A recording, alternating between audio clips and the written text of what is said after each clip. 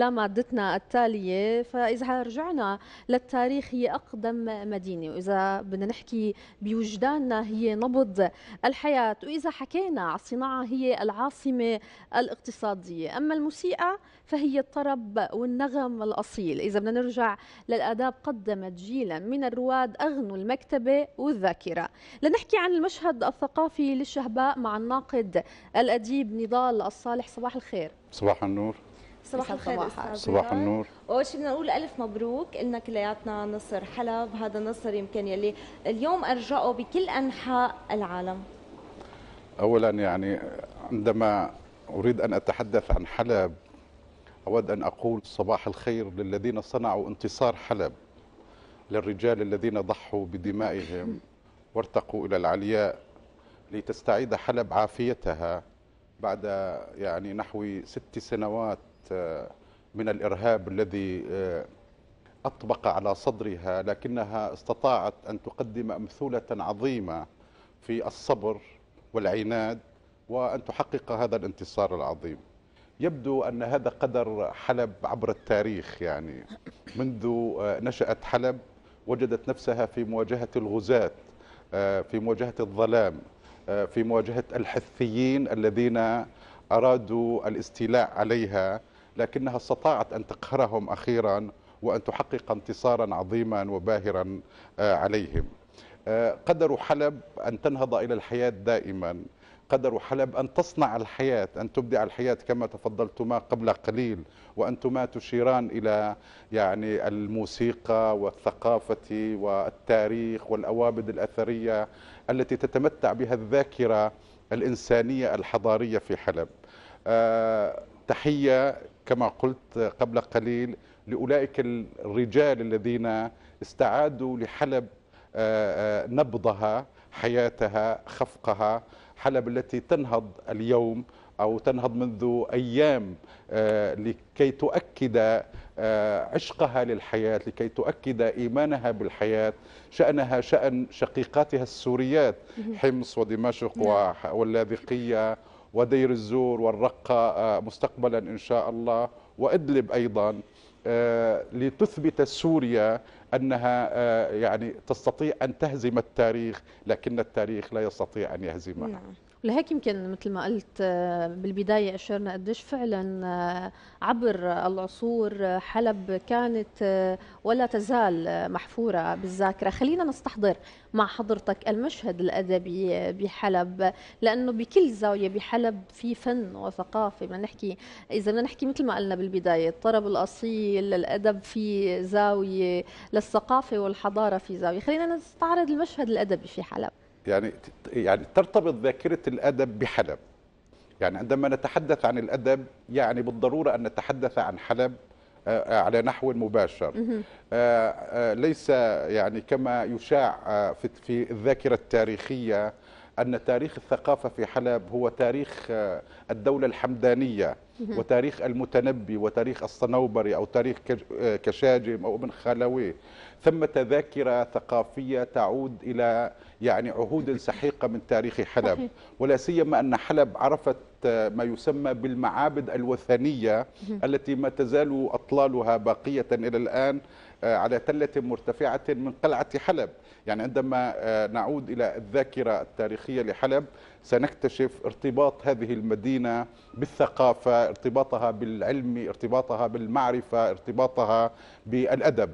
آه، لكن يعني العلامة الأكثر حضورا في الذاكرة الثقافية لحلب هي أيام الدولة الحمدانية التي استطاع آه، خلالها سيف الدولة الحمداني وهو يحمي ثغور البلاد العربية في مواجهة الروم استطاع أن يؤسس بلاطا أن يكون في هذا البلاط أبرز أعلام الثقافة والموسيقى والفن والأدب.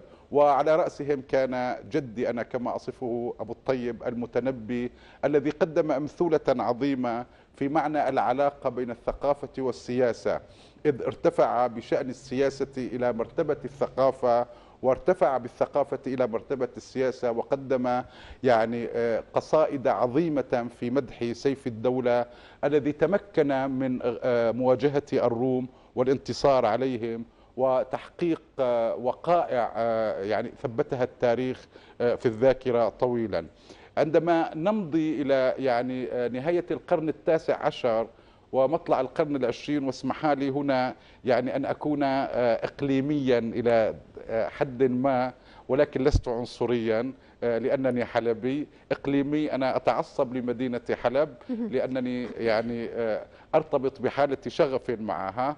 أن أقول إن حلب تميزت عبر تاريخها في نهاية القرن التاسع عشر ومطلع القرن العشرين بريادتها في شؤون كثيرة. آه، عندما نتحدث عن أول مسرحية عرفتها سوريا على سبيل المثال آه، لا نستطيع إلا أن نتذكر آه، ما قدمه الراحل نعمة الله الجد الذي كتب أول مسرحية ليس في سوريا. يعني أول مسرحية ظهرت في تاريخ الأدب العربي الحديث كانت في حلب. لنعمة الله الجد وكان ذلك قبل ما يزيد تقريبا على 125 سنة.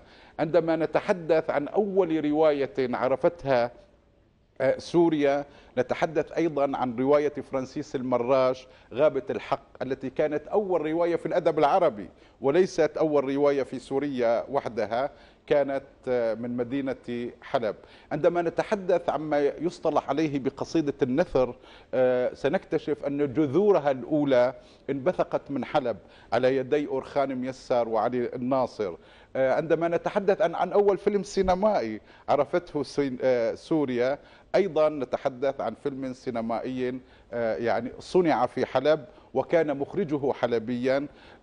لا أريد أن أستفيض كثيرا في يعني آه، سرد وقائع الذاكرة الثقافية الحلبية آه، لأن آه، حلب على الرغم من ذلك على الرغم من ريادتها يعني هي شقيقة بالمعنى الدقيق للمدن السورية التي صنعت الثقافة السورية والتي تمكنت من خلال ذلك أن تقدم نفسها إلى الثقافة العربية على درجة رفيعة جدا وعالية جدا. وعندما نتحدث عن الثقافة العربية تتصدر الثقافة السورية عامة ومنها الثقافة في حلب تتصدر واجهة يعني الحديث آه، الثقافي دائما. نعم. أستاذ نضال مثل ما تفضلت وحكيت بكل النواحي آه، حلب دائما خطت التاريخ بحروف من ذهب خلينا صحيح. نقول.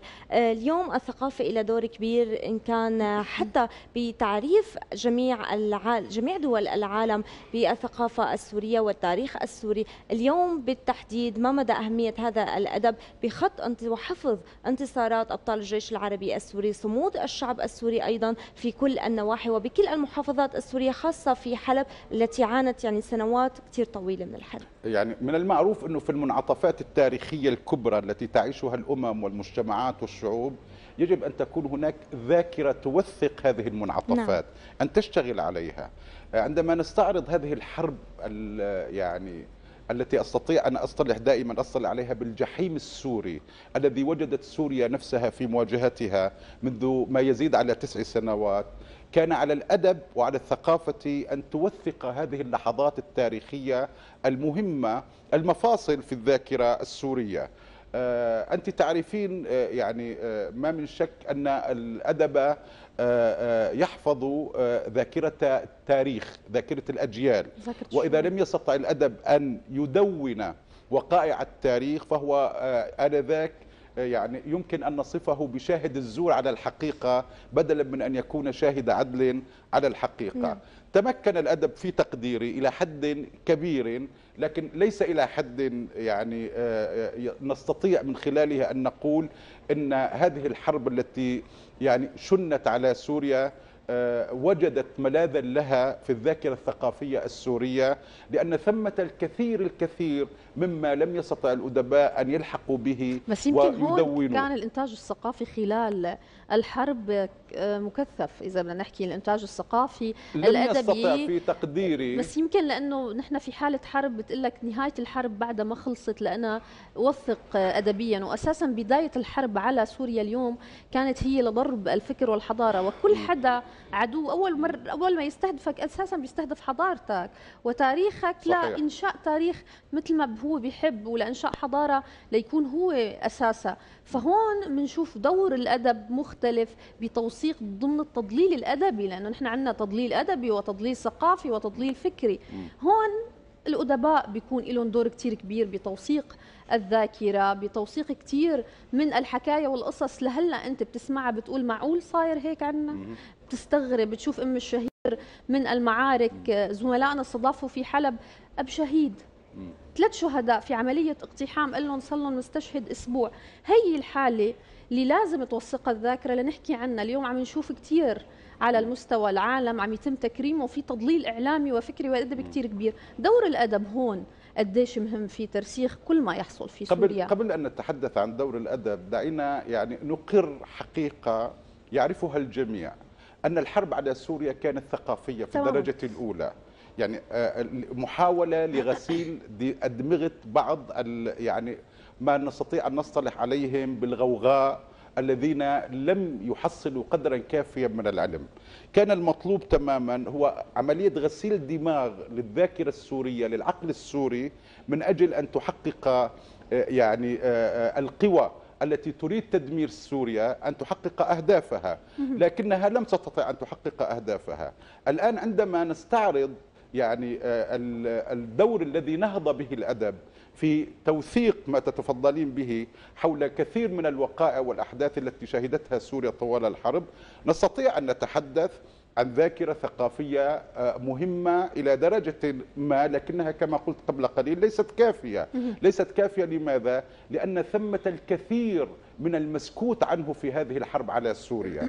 كما تفضلت الآن قبل قليل يعني في الحديث عن يعني والد الشهيد أو والدة الشهيد الذي قدم يعني عندما يقدم آه، تقدم أسرة ثلاثة شهداء هناك أسر في سوريا قدمت ستة شهداء نعم. من أفرادها يعني في غير جزء من الجغرافيا السورية. هي قدمت يعني ست أولاد. آه يعني عندما آه مهمة الأدب هنا أن يكون أمينا في نقل وقائع التاريخ في مواجهة المحاولات التي تحاول حرف التاريخ عن مساره الحقيقي. آه، من المؤسف أن ما آه، يسمى المعارضة السورية تمكنت إلى حد كبير من خلال مجموعة من الأعمال الأدبية أن تحرف الذاكرة الثقافية الإنسانية عن الحقائق التي كانت تجري على الأرض في سوريا. أي أن تزيف هذه الحقائق وأن تقدم آه، مجموعة من الأكاذيب والأضاليل التي لا تنتمي إلى لا تمتلك رصيدا حقيقيا في الواقع. الآن أمام الأدب السوري على الرغم كما قلت لك من محاولات كثيرة ومن أعمال أدبية ظهرت آه، ولا سيما على مستوى الفن الروائي آه، لكنها لم تستطع أن ترتقي إلى الإنجازات العظيمة التي تمكن الشعب السوري من خلالها تحقيق هذه الانتصارات العظيمة في مواجهة الغزو الثقافي الغزو الفكري الذي بدأت به الحرب على سوريا.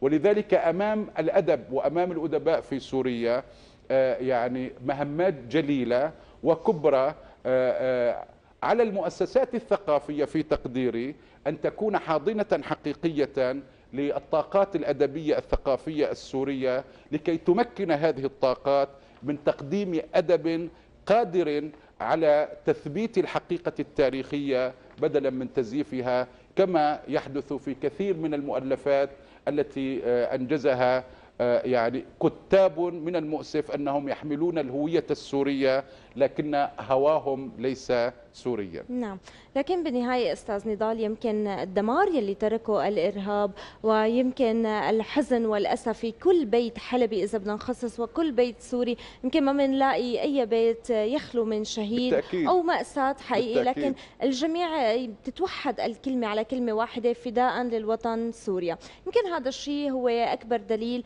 وأكبر رسالة على توثيق جميع ما يجري وجميع صحيح. الجرائم صحيح. التي قام بها الإرهاب. اليوم الرسالة الحضارية لمدينة حلب بعد أن قامت من جديد. وستعود آه، عاصمة آه، سوريا الصناعية وستعود موطن الطرب والثقافة والحضارة. وكمان اللقمة الطيبة اللي ما فينا ننساها صحة على قلبكم.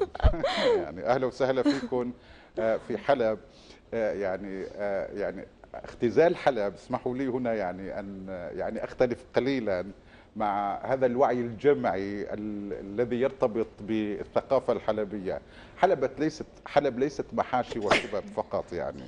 حلب ثقافة حلب تاريخ حلب ذاكرة. صحيح أن يعني الذات الحلبية الروح الحلبية ميالة إلى تدليل نفسها كما يعني يصطلح على ذلك على تدليل معدتها. هذا شيء حلو. يعني.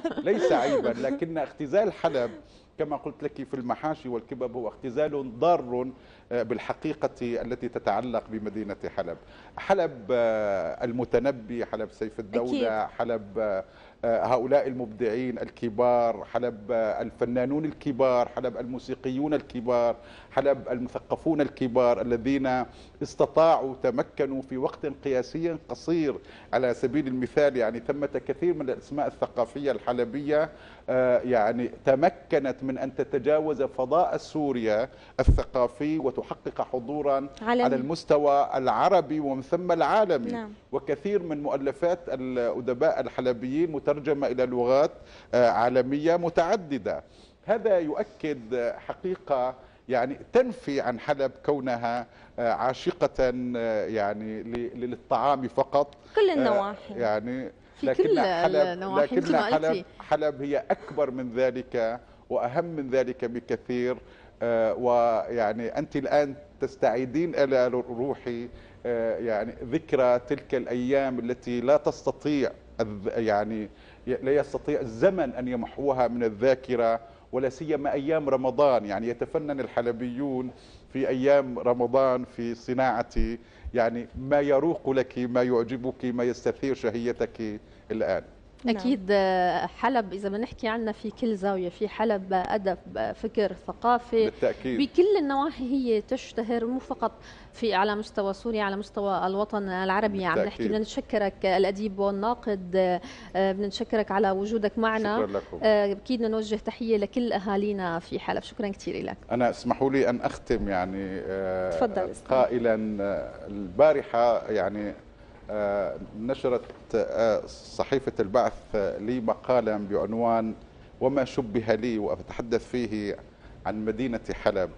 آه، وأنهيت هذا المقال آه، باليقين بالي- بالإيمان المطلق بأن حلب التي تمكنت من أن تحقق انتصارها على الظلاميين والإرهابيين بفضل سواعد رجال الجيش العربي السوري هي حلب نفسها التي ستنهض في فترة قياسية قصيرة جدا وتؤكد قيامتها إلى الحياة دائما وأبدا شكرا. لك شكرا نضال. لك أستاذ شكراً لك. نضال ومثل ما قلتي نور تحيتنا لكل بيت حلبي وتحيتنا لأهالينا بمحافظة حلب يلي صمدوا